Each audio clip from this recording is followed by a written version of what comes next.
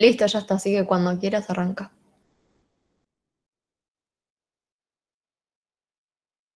Eh, bueno, nada, en principio, ¿cómo andan? ¿Cómo les estuvo yendo con la, en la semana, con las clases y demás? Eh, No en mi tenemos caso, clases. sí. Clases no tenemos, pero No tenemos clases. Ni siquiera nos subieron ¿tiene temas al- algún acá. material asincrónico ahí colgado por ahí? No, no, no nos subieron esta semana, me parece. No. sí, sujeto, la semana pasada, lo último, eh, descriptivo y método descriptivo y sujeto único. Claro, Pero- pero esta semana no. No, no, esta no. Anunciaron sí lo del parcialito este que va a ser a partir del 6 de julio al 10 de julio. ¿Parcialito Sí. que va a ser online?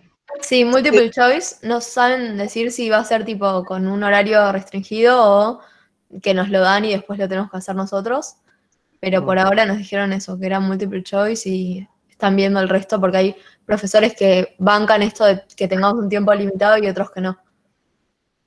Está bien, es lo, lo que pasa en todas las cátedras, les digo. O sea, nosotros también estamos viendo qué carajo o cómo carajo tomamos, la verdad, no les voy a mentir. Eh, así que nada, yo hoy de, de hecho estuve hoy el teléfono con Argivay, así que Uh, contanos Eh, la data. no, no, la verdad que tuve el teléfono por, por otra cosa y me decía que que nada, todavía no sabe cómo tomar el EPI, igual nadie sabe, así que eh, pero que venía ah, evaluando cómo venía la cursada. Pero bueno. Pero el Eh, EPI, sí, por el lo- EPI es más adelante, ¿no? El EPI Sí, el EPI es, cuando volvamos, presencial, el EPI, así que- el año que viene, tal vez. Pero Nico sabe que vos estás No dando sé si, clases. ojalá que no, pero sí. Nico sabe que está dando las clases que vos no das, que ellos no dan. Eh, no, no se lo dije. Eh, yo creo que lo, lo debe suponer igual porque está, es público, ¿no? Pero, Claro. pero tampoco no quería pelearme con él, así que. No, no, no. Así, Nosotros tampoco. Eh, así que nada. Pero bueno, estaba viendo, evaluando la situación. Sí, real- realmente, Nicolás, yo no sé por qué esta cátedra eligió no dar clases. La mayoría está bastante bien armado. No sé por qué no dan. eh, Esto que vos hacés, eh, nos vendría, o sea, nos viene súper bien esto, Sí. pero que sea cada docente, que pongan un foro y encima tenés que preguntar cualquier cosa para dar respuesta, digamos, presente. O sea, preguntar cualquier cosa cada tanto porque es tu presente, digamos. No, no sé si tiene mucho sentido. No, en realidad, la, la verdad que la, cuando hay cursadas virtuales en general pueden ser eh, sincrónicas o asincrónicas. Sincrónicas son en vivo y asincrónicas son eh, con material disponible permanentemente. Son dos tipos de cursadas que se usan. Y por lo general siempre hay alguna forma de justificar que estuviste ahí, ya sea eh, controlando quién vio un video o pidiendo comentarios. eh, eso, qué sé yo, se hace en todos lados. A lo mejor uno no venía acostumbrado, pero después, qué sé yo, no no venía acostumbrado a la cursada virtual porque tampoco la eligió. Pero bueno, eh, después en, en realidad es la modalidad que, que- que se estila en la mayoría de los lugares de, que dan cursada virtual, por lo menos eh, que yo haya cursado o haya visto por ahí. Pero sí, es una, es una desgracia porque uno no, no elige. Así que, pero bueno, No, entonces, aparte muy, muy, digamos, muy injusto para aquellos que no tienen internet, no tienen una PC con, con pantalla, no pueden bajarse nada, o sea, la gente que no tiene recursos, chao, no puede, no puede cursar directamente. Así que, sí, la, verdad que en ese sentido la pandemia es una desgracia porque no, no permite la, presencialidad.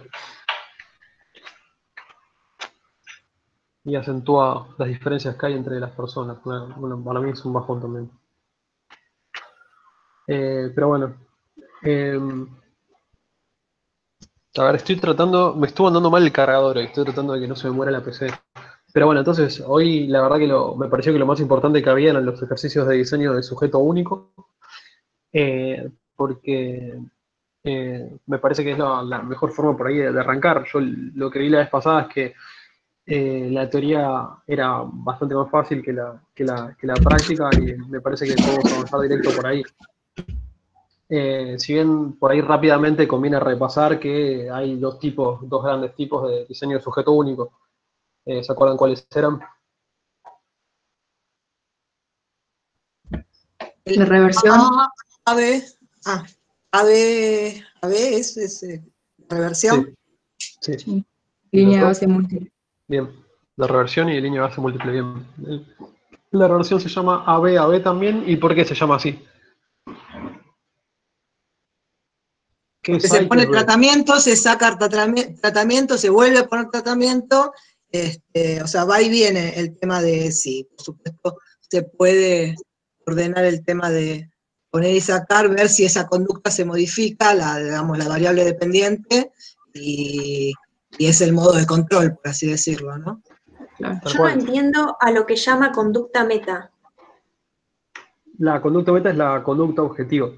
Piensen que estos diseños son, eh, por ahí relacionarlo, el, el apunte que tienen está bueno, tiene un acierto copado eh, en que relaciona a este tipo de diseños con Skinner.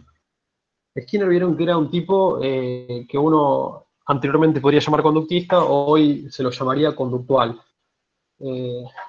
Entonces, cuando uno trabaja desde ese punto de vista, lo que planea es la modificación de una conducta que de alguna manera es desventajosa para el sujeto, ¿no? Para tratar de contextualizarlo.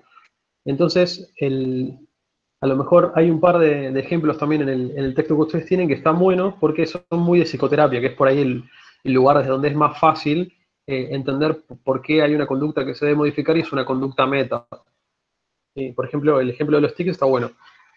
La conducta meta es nuestra conducta objetivo, básicamente.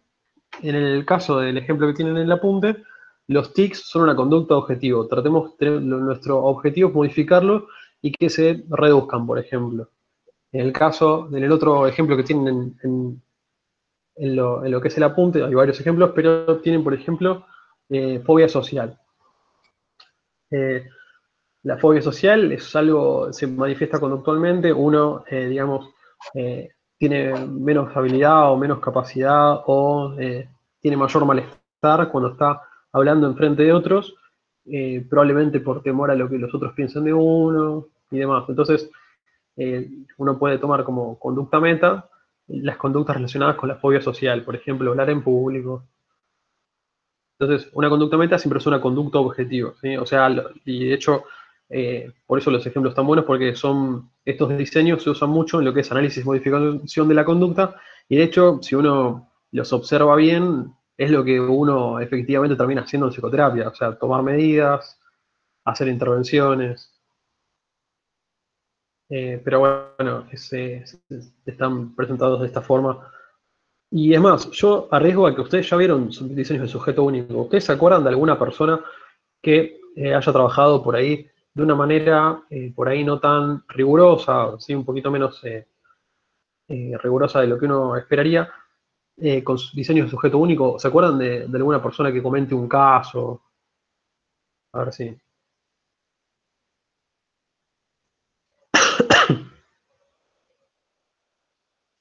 Hay un autor que ustedes ven mucho en la facultad. Freud. Y Freud. Lacan. Freud. Freud, Lacan, eran gente que trabajaba con casos únicos, por ahí no planteados de la misma forma que lo plantearía Skinner varios años después que Freud, ¿no? No se olviden que Skinner eh, empezó a producir más o menos con mucha fuerza en la década del 50 en adelante, hasta los 90, y que Freud eh, tiene 60 años menos de ventaja. Así que, pero bueno, uno podría pensar que Freud de alguna manera estaba implementando sujetos de, de diseños de sujeto único.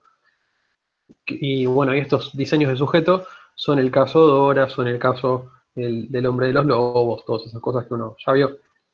Eh, solamente que los diseños que tenemos ahora son bastante más rigurosos porque estamos tratando de establecer una relación causal entre dos variables. Sí, la, verdad es que la, metodología avanzó mucho desde, aquella época, pero Freud uno podría pensar que era diseños de caso único. Entonces, para tratar de situarlo más en lo, en lo cotidiano, ¿no? en lo que uno haría, y ya en este sentido los invito a, eh, no sé de cuál es el, el trabajo que uno intentaría tener en el futuro, pero me parece que lo más fácil es situarse en, eh, en la función de un psicoterapeuta. ¿no?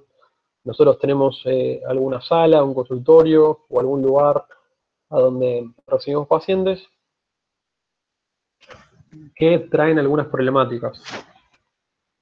La problemática puede ser X, ¿no? Puede ser, por ejemplo, y me parece muy importante el ejemplo ponerle de la depresión o la ansiedad, que son eh, que en los casos más bien eh, no tan graves, siempre es una depresión es grave, se pueden tratar muy fácilmente y en, pocos, eh, y en pocas sesiones con tratamientos conductuales. Entonces es un buen ejemplo para, para esto que vamos a ver ahora.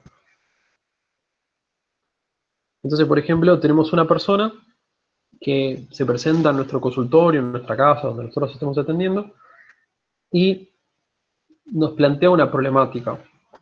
La verdad es que, eh, bueno, ahora voy a oficiar de paciente, ¿sí? actuando un poquito.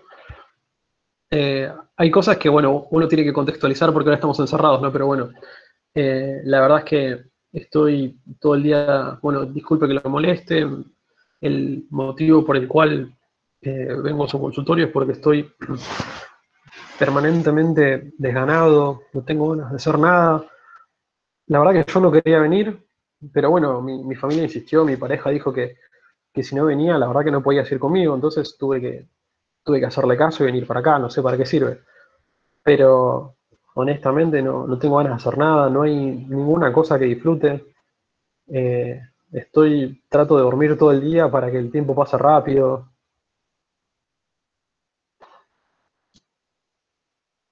Y la verdad que tampoco estoy comiendo bien. como porquerías cuando me levanto de la cama que tengo en casa porque ya tampoco tengo ganas de ir a hacer compras. Ya antes me gustaba, por ejemplo, cocinar para mis amigos y para mi familia, invitarlos a comer, pero ahora ya no estoy disfrutando ni siquiera eso. Ya prefiero comer lo que hay para volver a la cama, sí, sí, listo. Ya está. Les presento un, pequeño caso para ver cómo, podemos eh, trabajarlo, ¿no? Les presenté un montón de conductas que son características de depresión y les presenté una actividad que a lo mejor en algún otro momento eh, me gustaba. Entonces, eh, lo que podría, digo, hay un montón de conductas para tomar en cuenta, ¿sí? O sea que puedo aplicar varios de los diseños que ustedes vieron, y por otro lado, además hay, eh, digamos, una, actividad que a lo mejor es la cocina, que yo les había comentado que disfrutaba en algún momento.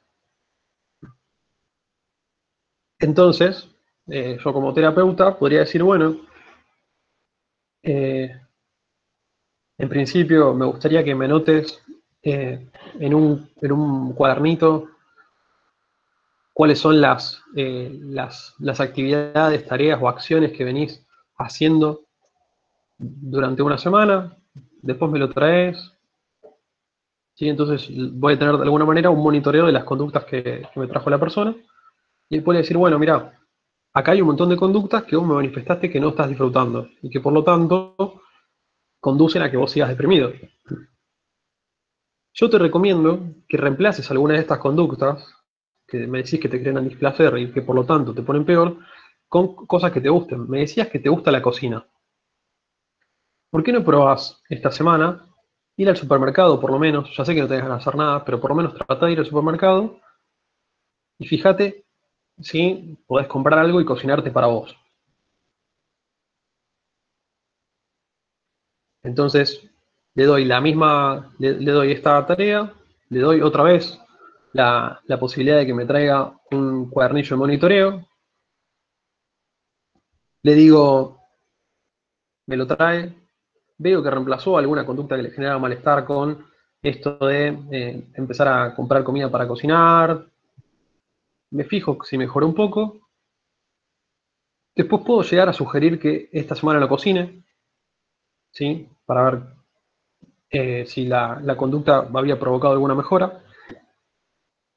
Y volver a pedirle que vuelva a cocinar, pero esta vez que invite a la familia para ver si iba mejorando, por ejemplo. ¿Cuál sería la, el diseño que implementé ahí en mi consultorio para saber si la cocina era una intervención efectiva para la, depresión de esa persona.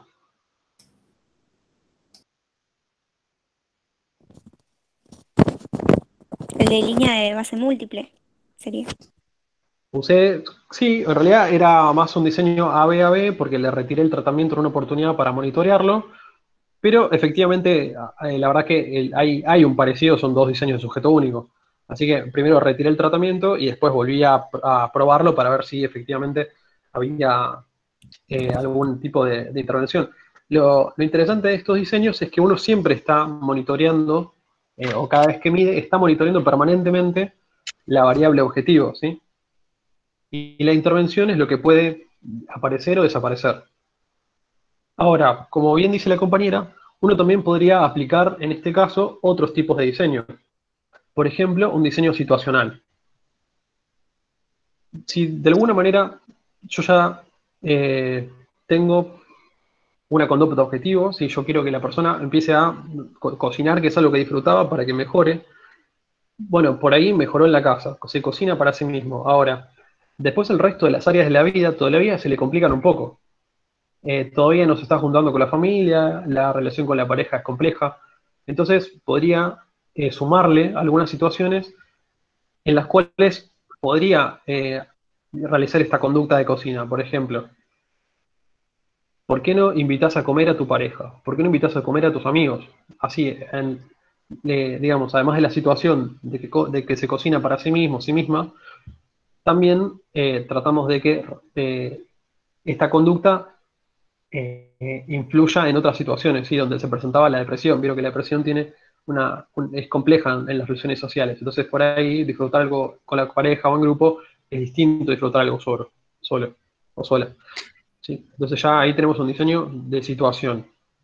La Una conducta. pregunta, Sí, perdón, eh, ¿no sería Sí, más eficaz, no sería más eficaz aparte el de línea de base múltiple por el hecho de que lo que decía de las desventajas de tipo práctico, que por ejemplo, no sé, la familia se opone una vez eh, vista una mejora, por ejemplo, en este caso de depresión, se opone a retirar el tratamiento.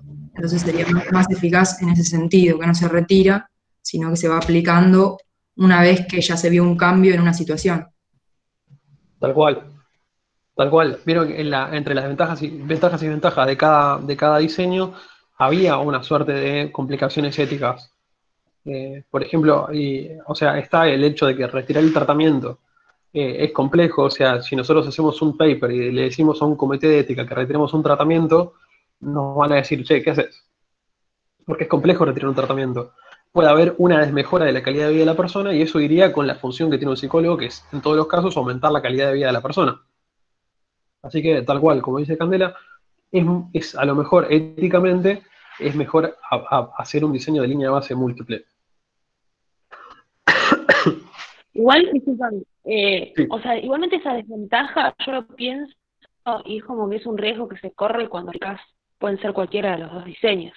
A ver, digo, cualquier, o sea, tu familia se puede oponer, no específicamente por ahí el ejemplo que vos diste, pero por ahí pienso otros, y es como que siempre se corre el riesgo a que ocurra esa desventaja, supongo. Sí, O no, porque digo, en el, por ejemplo, no sé, el ejemplo de, de un nene que tiene tics y demás, aplican el tratamiento, por ahí la familia ve que está mejorando y por ahí, no sé, no tienen más paciencia y dicen, no, listo, hasta acá llegamos, porque piensan que con eso ya basta. Qué sé yo, otro ejemplo se me ocurre. Y con el tema de la depresión también. Es como que siento que esa desventaja, o sea, ese riesgo se va a correr la mayoría de las veces. O sea, no sé si es tan central. Entonces, El- el riesgo es más bien inherente a, a un tratamiento que a, o sea, al tratamiento psicoterapéutico que al diseño. Eh, o sea, el hecho de que una persona cumpla o no según sus posibilidades y las posibilidades del grupo que lo rodea es más bien eh, correspondiente a, eh, al tratamiento en sí o a la persona que al diseño. Por ahí habría que, que separar esas aguas. Sí, lo que nos atañe a nosotros como investigadores es los dilemas éticos que corresponden al, al experimento. Después lo otro, y un poco nos excede. Eh, Bueno, por, es- por eso dice que nada que sea irreversible se podría aplicar, porque si no, este, si hay algo que vos aplicás que después va a ser para peor, no, no, no es ético, digamos. No, y aparte hay conductas que ya están tan arraigadas que a lo mejor son eh, difíciles de trabajar.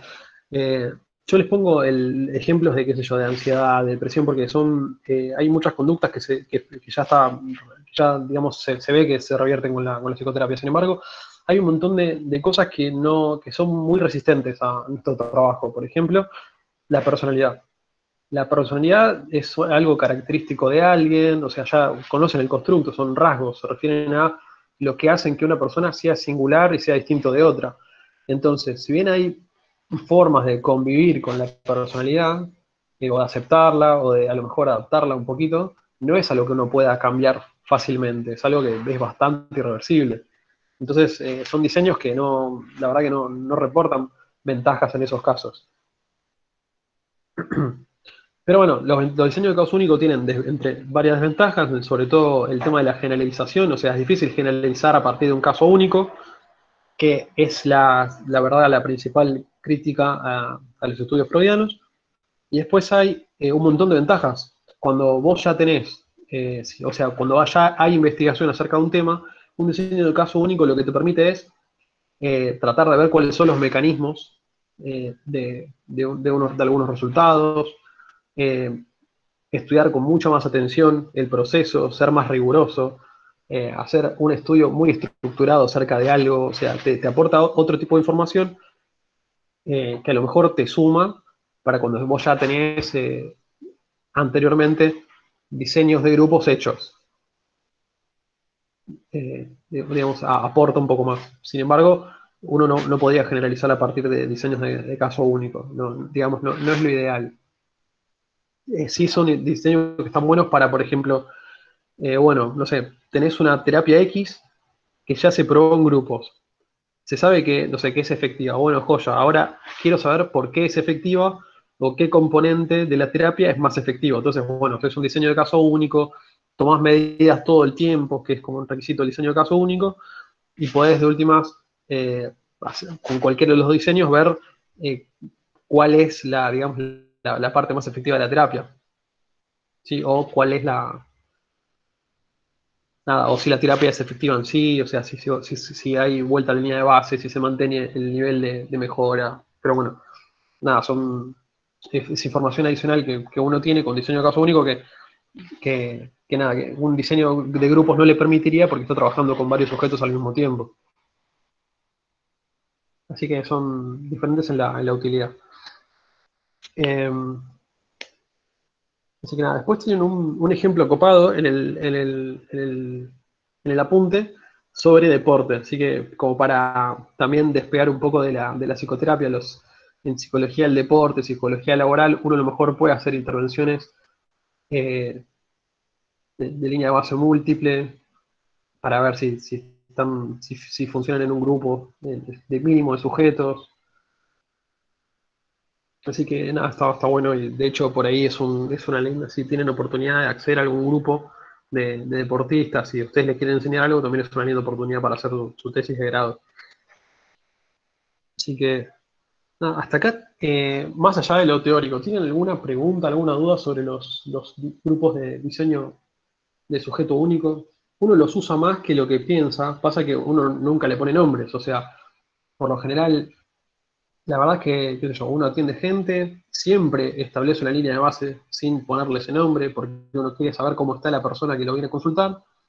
Uno después interviene, la verdad es que frecuentemente eh, se utilizan diseños de línea de base múltiple, porque la verdad es que por lo general la, psicoterapia eh, va avanzando en situaciones, o sea, primero mejorás en una situación, después vas mejorando en las otras. Eh, Así que uno siempre aplica estos tipos de diseños sin saberlo, sin, porque digamos tampoco lo, hace en el ámbito de la investigación, aunque también hay varios diseños de sujeto único. Si quieren después les, paso algún ejemplo, eh, ahora les paso alguno por este chat, a ver si, me dan un segundo, así ven cómo se aplica.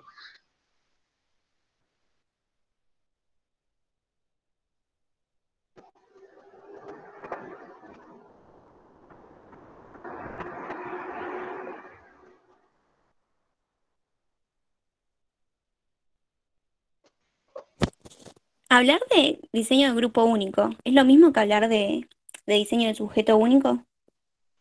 Eh, no, en un caso estás trabajando con un solo sujeto o con un grupo mínimo de sujetos, como pueden ser 5 o 10 sujetos, y en el otro caso estás trabajando con un grupo. Eh, ya, digamos, la, unidad cambia y los diseños también cambian. Mm.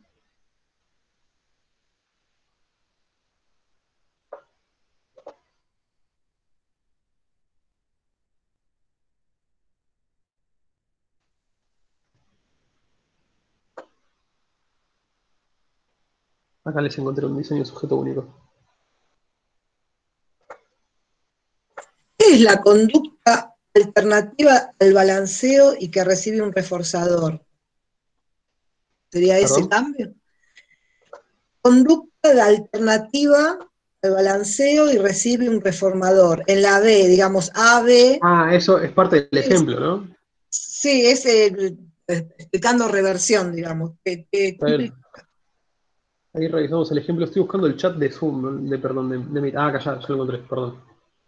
Y a ver si les puedo pasar por acá el artículo.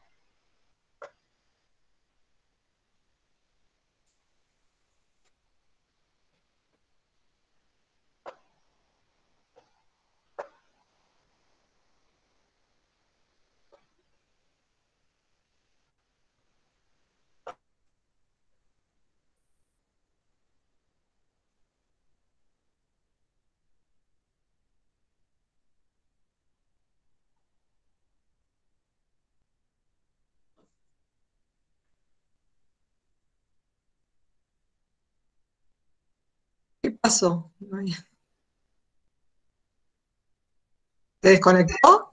Uy, se le debe haber cortado. Sí, tenía problemas con la con el tema del enchufe, ¿no? Dijo, de la máquina. Ah, se le terminó la batería entonces. Sí, Ajá. digo, me parece, ¿no?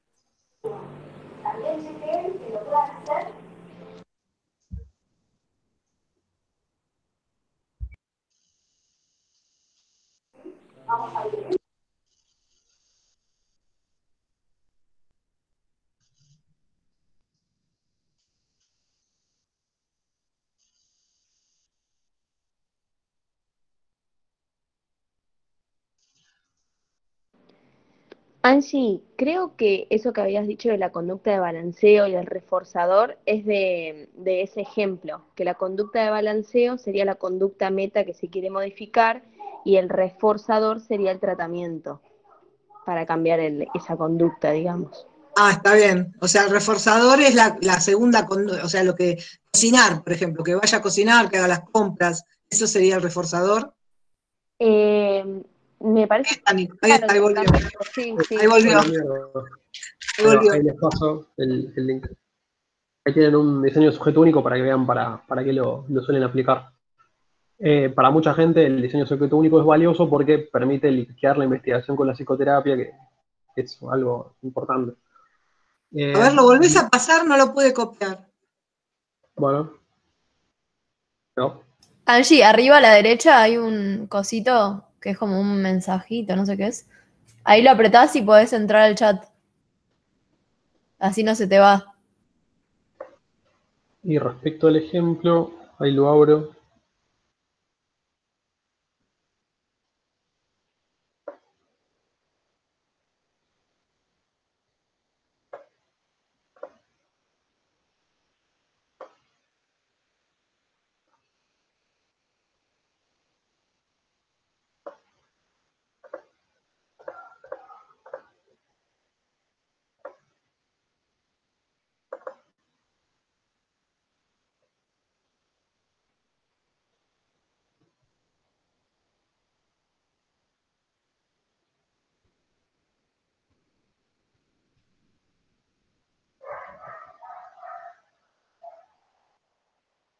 A ver, estoy buscando el ejemplo que me decías, Angie. ¿eh? Acá está.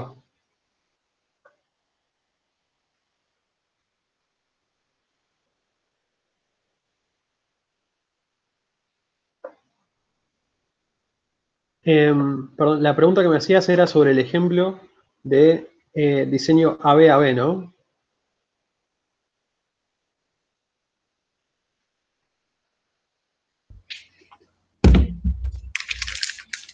Sí, sobre ese. Claro. Eh, fíjate que del ejemplo lo que, el- lo que se habla de una conducta, eh, se dice que una de las conductas poco deseables es el balanceo del cuerpo. Se refiere, es una, es- o sea, está, es, son, son términos bien del ejemplo, no, no sé si sean eh, útiles para, para después de, para aplicarlos en otros ejemplos, eh, en ese caso. Son bien relativos al ejemplo. Lo que, lo que el ejemplo. Ah, está bien, tiene que ver con el balanceo del niño, del nene que se mueve y que, bueno, aplicar una Claro. que refuerza. Ah, está bien, está bien. Bien. Así que, pero bueno, vamos a, a entrar a los, a, los, a los ejercicios que tienen. A ver qué, qué es lo que tienen para, para resolver. No sé si les sirvió un poco la, el ejemplo medio psicoterapéutico del, del sujeto único, ¿sí? Para, la idea era que, vean que es bastante común y corriente utilizarlos, pero no tanto eh, transmitirlos en, el campo de la investigación. A ver, ¿cómo era para...? Acá está. Compartir toda tu pantalla.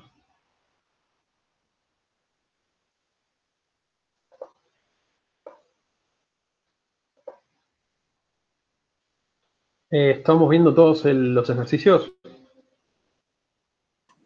Sí, Ah, sí. joya, listo. Sí. Bien. Entonces, dentro de los ejercicios de sujeto único tenemos tres. Eh, la verdad que en los tres eh, ejercicios se nos pide que escribamos mucho. Pero bueno, el primero. Un estudio se propone evaluar la eficacia de un tratamiento de inversión de hábitos para la conducta de tics faciales de un hombre adulto. Describa cómo podríamos evaluar dicha eficacia mediante un diseño de reversión mediante un diseño de línea base múltiple.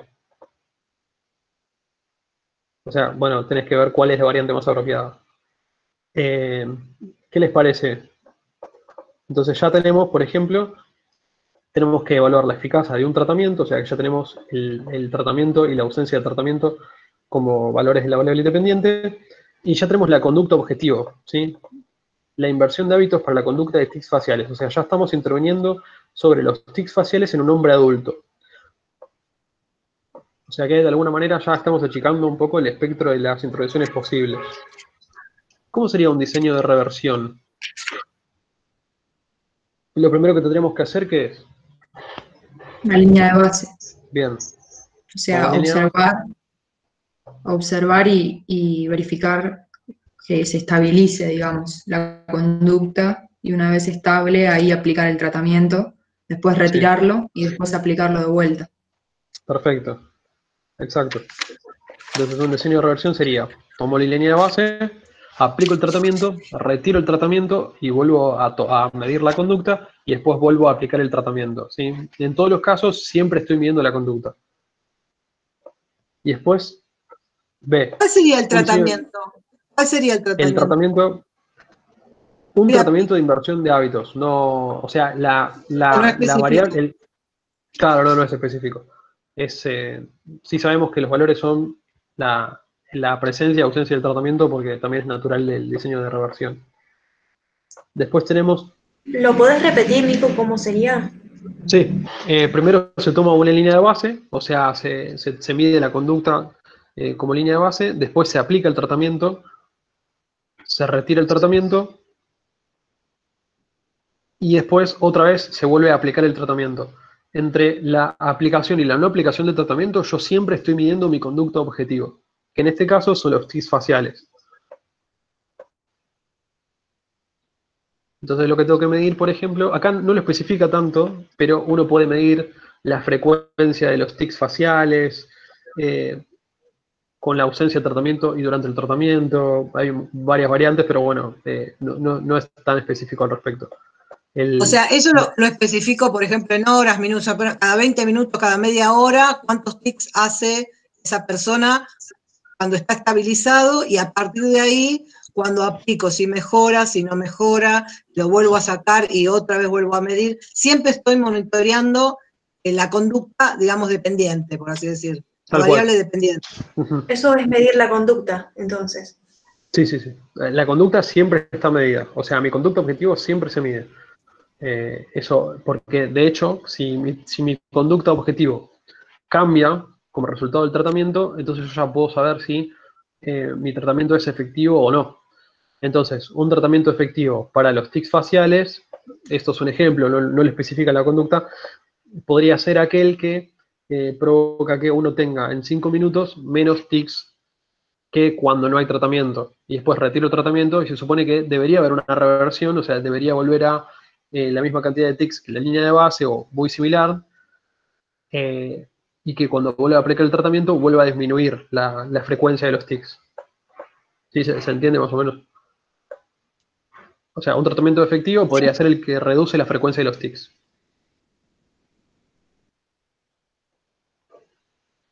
Y después tenemos como opción un diseño de línea base múltiple para evaluar la efectividad de este, de esta, de este tratamiento para la inversión de hábitos para la conducta de tics. Un diseño de línea base múltiple. eh, bueno, hay un par de, de casos que no nos van a servir en principio, me imagino. ¿Cuáles son los que, los que no nos sirven en este caso? Los que no. De sujeto, porque está hablando de un hombre en particular, digamos. Entonces sería como en vano. Bien. Ya tenemos un hombre adulto, o sea que nada, es un solo hombre adulto, no me sirve el de sujetos. ¿Cuál más nos sirve?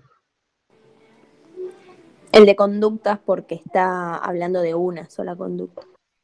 Perfecto, ya tenemos nuestra conducta objetivo bien definida, no nos sirve el de conductas. Entonces, ¿cuál sí, eh, cuál diseño de línea base sí nos podría servir? Situaciones. Perfecto. Que de hecho es el, es el mismo ejemplo que nosotros veníamos trabajando, si se quiere, o que aparece en el, en el ejemplo del, del apunte, con el niño que a lo mejor trabaja, está en la casa, está en la escuela y está en el club.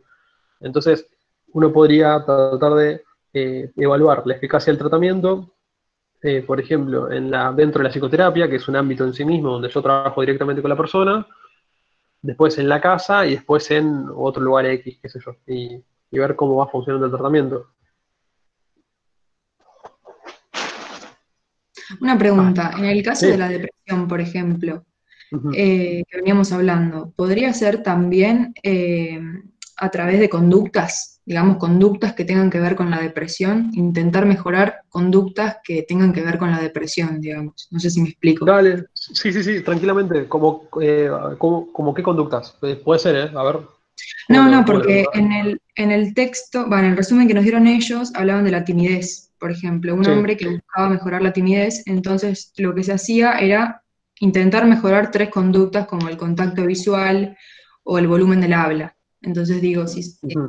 Para representar cuándo podríamos usar el de conductas, porque, por ejemplo, el de situaciones entiendo que sí sería eficaz. O sea, tratar de mejorar Sí. la depresión, digamos, en diversas situaciones. Pero digo, no- entiendo cuándo podría usarlo el de conductas. Claro, el de conductas es, eh, se refiere a la timidez y evalúa tres conductas objetivos.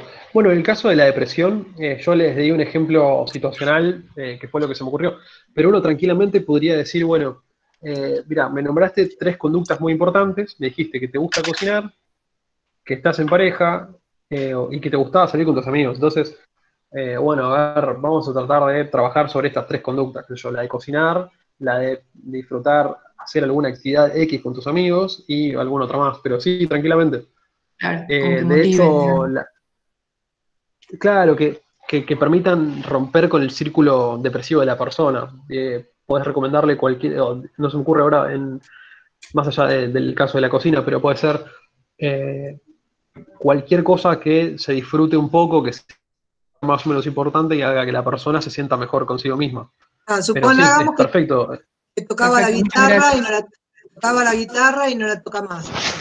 Y esa sería Claro, puede ser eso.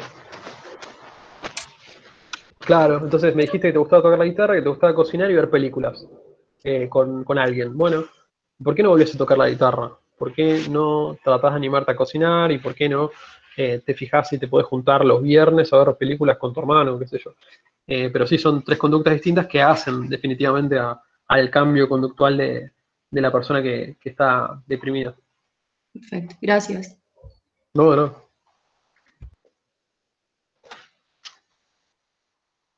Eh, a ver, pasemos al ejercicio 2. De las siguientes dos opciones, indique cuál le parece más recomendable para realizar un diseño de reversión justificando su respuesta. La conducta de de un niño o la conducta agresiva de un niño. Y esto tiene que ver con lo que decía Can de hoy de las desventajas, estas éticas, digamos, de que por ahí la conducta agresiva de un niño y por ahí es peligroso o no, o no se debe, o sea, si una vez que ya no es agresivo el niño, como que es peligroso después quitarle el tratamiento, como que por ahí tiene que ver con eso que decíamos al principio. Claro, la Tal oposición a, a que Para se la A sería, para la A sería más conveniente. Claro, si yo le quito un tratamiento a los tics de un niño y la verdad que el nene no se va a ver afectado, eh, o por lo menos no, no se va a ver muy afectado, qué sé yo. Eh, bueno, sí, tuviste más tics hoy que ayer, está todo bien. Ahora, con una persona que es agresiva, con una persona con, por ejemplo, conductas autolesivas, con una persona con riesgo suicida, y quitar el tratamiento puede ser dañino para la persona o para las otras personas. Entonces, en ese caso, eh, interrumpir el tratamiento puede llegar a ser bastante grave y bueno, y estaría, no sería ético de parte de, un profesional de la salud. Eh, así que sí, uno podría pensar que es más adecuado el diseño de reversión en el caso de las conductas de tics. Siempre me imagino, bueno, ahora estoy medio con esto del suicidio por mi amiga, pero imagínense, ¿no? Eh, hay una persona que llega a terapia y les consulta y les dice, mira, la verdad que estoy pensando continuamente en la muerte. Está bien que pensamiento o suicida no es lo mismo que intento suicida, son cosas distintas. Pero, sin embargo, ustedes le interrumpirían el tratamiento a una persona que tiene pensamiento suicida solo para ver si el tratamiento está funcionando. No. No. Claro, El último puedo ver de otra forma si está funcionando. Puedo ver si con cualquier otro, con un diseño de línea de base múltiple, por ejemplo. Vamos al ejercicio 3. Si quisiéramos evaluar la eficacia de un tratamiento para disminuir la ansiedad, proponga cómo podría hacerlo mediante un diseño de línea de base múltiple de situaciones y un diseño de, de línea de base múltiple a través de sujetos. Bueno, está bueno. Para disminuir, la, para disminuir la ansiedad. Ansiedad es una cosa muy grande. Por ahí recortándolo es más fácil, ¿no? Pero, pero bueno, eh, la ansiedad incluye sobre todo miedo. Es el rasgo principal de la ansiedad. Una persona ansiosa es una persona que teme algo. Dentro de la ansiedad hay un montón de tipos de ansiedad, entre los cuales los más comunes son la ansiedad específica a, eh, un, por ejemplo, a, a un objeto determinado, que puede ser un bicho, que puede ser por lo general son bichos, por eso lo, lo- nombro, o eh, ya a situaciones muy determinadas, por ejemplo, eh, a viajar en avión, a viajar en barco. Entonces uno lo que tiende es a evitar a los bichos o a los barcos, y después eh, el, la- el otro tipo, más bien común de ansiedad, es la, fobia social. Entonces, tenés ansiedad específica o fobia social, por lo general. Entonces, uno podría pensar el ejemplo en esos dos términos. En las personas que le tienen miedo a eh, objetos o situaciones o a eh, más bien situaciones sociales. Sí, por ejemplo, los exámenes en caso de los estudiantes. Entonces, les propongo limitarnos a esos dos eh, tipos de ansiedad porque después hay varios para trabajarlos con, los, con la línea de, base múltiple. ¿qué se les- ¿Cómo se les ocurre, por ejemplo, que podrían trabajar con esto que, les vengo diciendo? Una, cualquier- bueno, vamos, vamos con la con un ejemplo propio, ¿no? Yo, la verdad, honestamente, le tengo fobia a las cucarachas. ¿Cómo trabajarían conmigo eh, para ver si hay un, para ver si un tratamiento es eficaz desde las situaciones y a través de sujetos?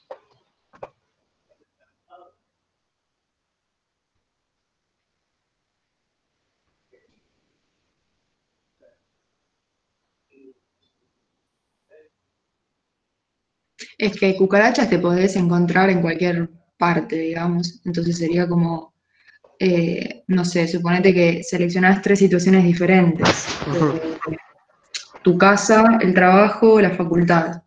Entonces Bien. lo que haces primero es, eh, bueno, no sé, el tratamiento, digamos, pero aplicarlo primero en una situación y una vez que notas un cambio ahí, aplicarlo en otra. Por ejemplo, primero en tu casa, después en la facultad, después en el trabajo.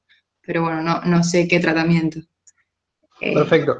Les cuento un, un chisme ya para, para estos casos. En, en la- para la ansiedad, estas, estos tipos de ansiedad que son más bien simples, la terapia más efectiva es una terapia que a mí me asusta, pero es la terapia de exposición. ¿Saben lo que es la exposición? ¿La de shock?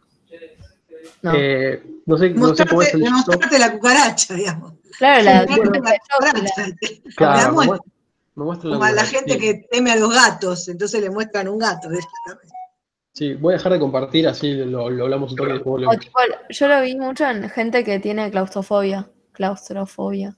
Que las meten en un Claro. ascensor. Ay, horrible. Bueno, imagínense que, eh, nada, se ha demostrado que la- la- las psicoterapias más efectivas para los casos estos de, fobia social o ansiedad específica eh, son eh, psicoterapias más bien simples, de exposición, que duran unas pocas sesiones, más o menos ocho sesiones, hay más cortas también.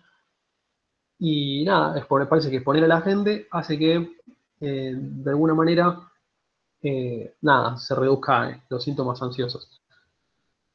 ¿Por qué? Y bueno, les voy a, les comento lo, que está hipotetizado. Parte de los ejercicios que uno hace, por ejemplo, cuando hay una persona ansiosa, como por ejemplo eh, una persona que sufrió ataques de pánico, es decirle a la persona que, no sé, bueno, agarrá y saltá por tres minutos. Ahora, repentinamente deja de saltar. Sentate. Y la persona queda toda agitada, queda hecha mierda. Y lo que uno le dice, bueno, eso es un ataque de pánico. Solamente que en el ataque de pánico vos encima interpretás esta situación como si te fueras a morir. Entonces, lo que uno supone es que enfrentar a la persona a este estímulo que resulta eh, no razonablemente eh, aversivo, o sea que uno evita sin tener eh, razones que sean suficientemente justificadas, debería bajar la, conducta de ansiedad. O sea, se supone que si a mí me, me- si yo tengo de alguna manera contacto cercano con una cucaracha y yo veo que esta cucaracha no me produce daño, yo debería poder, eh, debería poder reducirse el- la conducta ansiosa. ¿sí? Es una cosa muy conductual. Eh, es muy conductual porque, nada, es, eh, requiere modelado de la conducta, hacer la conducta en sí. Por eso yo eh, sé que la cucaracha no puede hacer nada, pero le tengo pánico igual. Así que nada. Eh, entonces, en estos casos se suele hacer. Eso te iba a eh, preguntar, ¿mejorás o no? la gente mejora. Eh, de hecho, yo gente, mejoré un poco. Yo no, digo, yo no voy a hacer ni un pedo terapia de exposición, pero me expuse. Cuando estuve estudiando psicoterapia de la ansiedad, me mostraban todo el tiempo videos de psicoterapias con cucarachas. Es como que no tenían otro puto ejemplo. Así que nada, me tuve que exponer igual. Es como, dale, no tienen otro ejemplo, no hay perros o algo, tipo, déjense de joder. Palomas, no sé, tipo, no, todo cucarachas.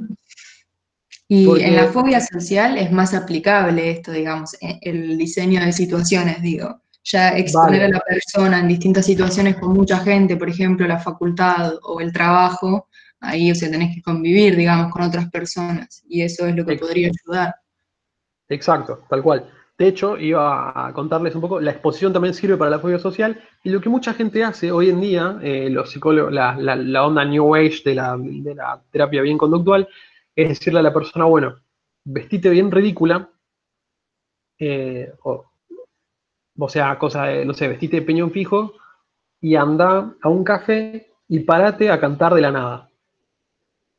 Vas a ver que, entonces, la idea es que la persona esté expuesta eh, a esta situación eh, donde la- debería pasarle algo, donde la gente la debería juzgar, y va a ver que no le pasa nada por vestirse ridículo y ponerse a cantar en el lugar, o sea, no, más que, que la gente se cae de risa. Entonces, que su integridad física no corre peligro, es la, un poco la idea. Pero tal cual. Entonces, eh, en el caso puntual de la, de la ansiedad, después con la mayoría de los casos que ustedes tengan de psicoterapia, van a tener eh, fija un ámbito situacional.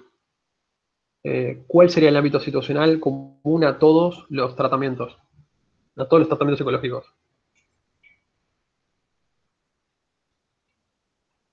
¿El hogar, la casa de cada uno?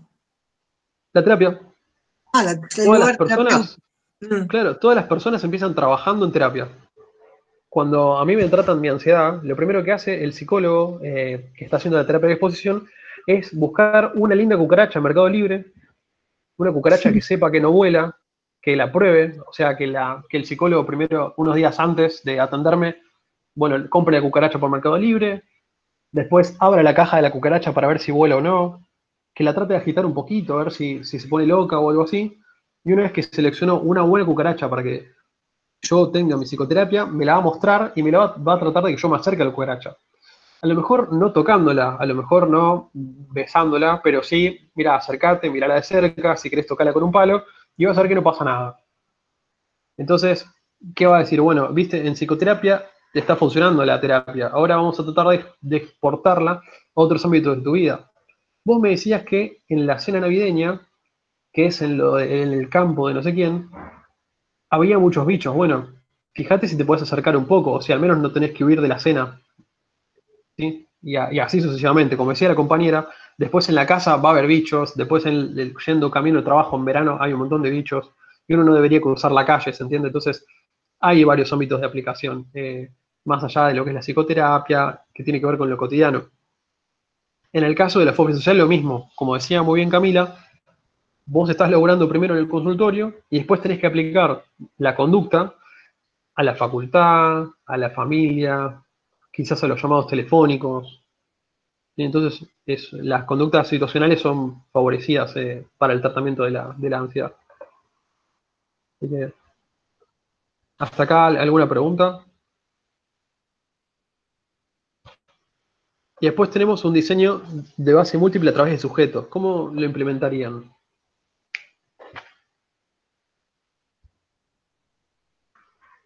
Y pasa que tendría que ser, o sea, se entiende que son sujetos con ansiedad todos, digamos. Entonces, también probarlo eh, primero con un sujeto y al ver un cambio, digamos, eh, o sea, probarlo con un sujeto y mantener estables a los otros sin tratamiento y una vez que se ve un cambio, implementarlo con, con otro sujeto y así sucesivamente, para poder llegar a la conclusión de que hay una relación causal. Bien, tal cual. Ahora vamos a, vamos a ver cuáles son las respuestas pa- para nuestros ejercicios. A ver si estábamos en lo cierto. La de sujetos, ¿es todo un grupo de sujetos, aunque sean pocos? O sea, Sí, van a estar eh, dentro del el- grupo. ¿Y qué pasa si, qué sé yo, imitan o copian o se hacen en, uno y otro y otro sujeto cuando se le va aplicando los tratamientos? Ah, no, no, es pasa que en el, eh, no, digo, no, no, no se le aplica en- al, al grupo todo junto. Eh, o sea, no necesariamente. Vos Ah. podés tener un grupo experimental al cual en, digo, en diferentes, de- en, una- en diferentes sucesiones le, le vas aplicando el tratamiento. Eh, pueden no conocerse entre sí o no verse entre sí, es tu grupo experimental.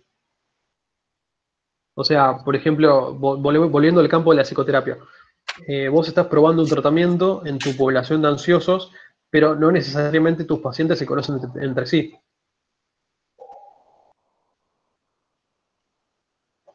Igual, Ah, eso, eso que decía Angie era justamente una desventaja que tenía este, este tipo de diseño de entre sujetos. Esto de que se puede generalizar el cambio, o sea, que ese cambio que se vio en la conducta no sea por el tratamiento, sino porque se generalizó por imitación o aprendizaje. Pero eso es Claro, por la observación misma. Claro, Claro. eso puede pasar en, en- en ámbitos donde, o sea, no tan, no tan psico, digo, no, no necesariamente, o sea, es verdad que es una desventaja, no necesariamente se tiene que dar, sino que es- es- se da más bien en, en el, en un ejemplo como el, de, el del fútbol americano, creo que era, me sale rugby, pero era el ejemplo de fútbol americano, ¿no? El que está en el apunte. Bueno, donde vos le administrabas un tratamiento a un sujeto, por ejemplo, creo que era la conducta de bloqueo, me sale tacle también pensarlo, eh, lo estoy argentinizando. Sí, sí, era ese. de Ah, ok. parece. Sí, Entonces es los ese, de bloqueo. entonces los compañeritos pueden ver que yo estoy enseñándole a bloquear a uno. En ese caso sí, eh, efectivamente habría, si estoy diseñando, haciendo una intervención grupal y están todo el grupo junto, sí habría un, un tema eh, de, de imitación y, una, y se produciría esta desventaja. También en el caso de una psicoterapia grupal, eh, yo estoy trabajando en formato grupal, quiero intervenir a todos, pero empiezo por uno y bueno, capaz que el otro ya está observando cuáles son las consecuencias de la, de la conducta.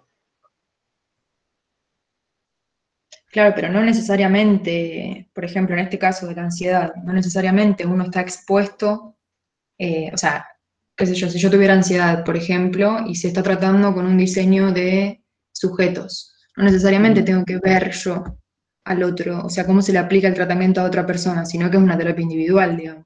Claro, ya depende bien de cómo esté implementado el diseño. Claro. Sí, es verdad que puede ser una desventaja, pero, pero bueno, a ver cómo nos salieron los ejercicios.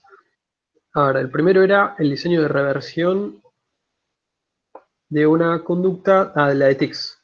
Habíamos dicho, bueno, acá dice, se toma en primer lugar una línea de base, una vez estabilizada se introduce el tratamiento, mientras se registra la conducta, Si se observa una disminución en la cantidad de tics de este hombre, se procede a retirar el tratamiento y se siguen registrando los tics. Y en este momento, la cantidad de tics debería volver al mismo nivel que antes de la aplicación del tratamiento. Luego se vuelve a introducir el, el tratamiento. O sea que estábamos en lo correcto. A ver la línea de base múltiple. Lo que dice acá es, no tendría sentido aplicar un diseño a través de sujetos, porque ya estamos trabajando con una persona en particular. Por otro lado, no tendría sentido implementar un diseño de línea base a través de conductas, eh, porque bueno, ya teníamos una conducta de tics bien definida, y acá te proponen usar eh, diseños de situaciones, en la casa, el trabajo. Así que nada, también estábamos en lo cierto. Respecto del ejercicio 2, la opción 1 de tics, o sea que no vamos a trabajar eh, con un diseño de, de, de regresión, me sale de, reversión eh, en el caso de niños agresivos, porque no queremos que un niño apuñale a otro. En el caso del ejercicio 3, a través de situaciones, eh, nosotros, bueno, trabajamos con un ejemplo, pero dice tomar la línea de base de la conducta de ansiedad en tres situaciones, por ejemplo, la terapia, el hogar y el trabajo, ir aplicando el tratamiento a cada línea de base de manera escalonada. O sea, por, por ejemplo, primero la terapia, después el hogar y después el trabajo, de modo de lograr un cambio conductual, eh, bueno, en cada uno de los lugares. Y después a través de sujetos, tomo la línea de base de conducta en diferentes sujetos, una vez estabilizadas se aplica el tratamiento, y al mostrar cambios aplico al siguiente sujeto y así sucesivamente. Así que, nada, hemos tenido por ahora éxito en lo que es los sujetos, los diseños de sujeto único. Así que hasta acá alguna pregunta respecto a los diseños de sujeto único. En relación a todo lo que vienen viendo, yo entiendo que es una, una disrupción. O sea, nosotros, va, yo entiendo que en metodología lo que se les muestra es que lo ideal es trabajar con grupos durante toda la cursa, ahora llegan y les proponen sujetos únicos. Entonces uno los mira con reojo, como diciendo, bueno, ¿y ahora para qué me sirve esto? Eh, pero bueno, hasta acá, ¿tiene alguna consulta, pregunta? ¿Se entendió más o menos para qué se pueden utilizar? Sí, sí, está bastante entendible, por suerte. Bien. Sí, perfecto. Está claro. Tengo una pregunta. ¿Análisis factorial lo vamos a ver o no?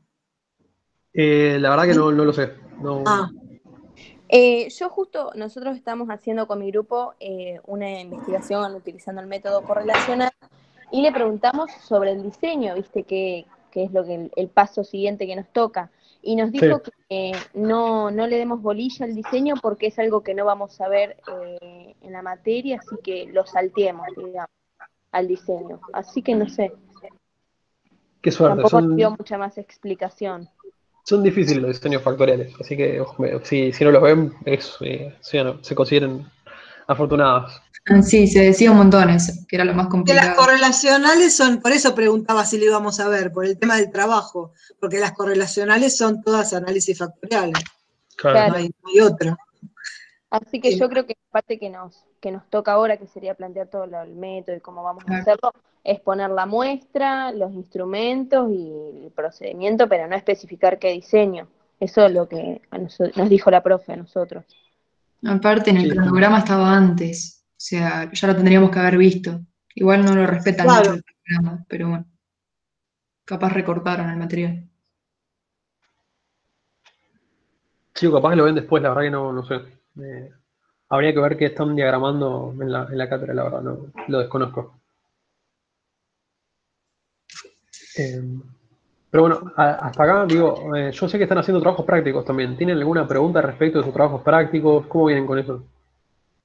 Mira, a mí por suerte, eh, Runa, eh, como fuimos, no sé si porque tuvimos suerte, fuimos las primeras, ya corrigió la primera parte, nos puso muy buen trabajo y bueno, nos mandó unas observaciones muy piola, la verdad que él relaburó porque eh, párrafo por párrafo, lo que va, lo que no va, lo que le parece que hay que citar, perfecto, así que ya se lo mandamos corregi- corregido y ya con la segunda parte de objetivos y eso que vos me explicaste de subhipótesis, porque en mi caso es personalidades de Einstein, así que Ah, ¿y cómo, y cómo te fue con eso? nos puso muy buen trabajo y bueno, y ahora le hice, ahora hicimos la entrega ayer de, como vos me dijiste, de subhipótesis, lo, lo pusimos, así que eso todavía no lo corrigió, pero hicimos hipótesis, eh, hicimos eh, objetivo general, específicos, y, yo- y, se nos ocurrió poner tres subhipótesis por cada personalidad. Así como vos más o menos me lo explicaste, lo hicimos así, con cada sesgo. Bueno, a ver, a ver qué, a ver qué sale de Vamos a eso. Sí, gracias. Qué suerte igual, nuestro profesor brilla por su ausencia. Ah, una lotería. Sí, sí. Yo me anoté por recomendación, pero la verdad que nada, jamás una explicación, nada.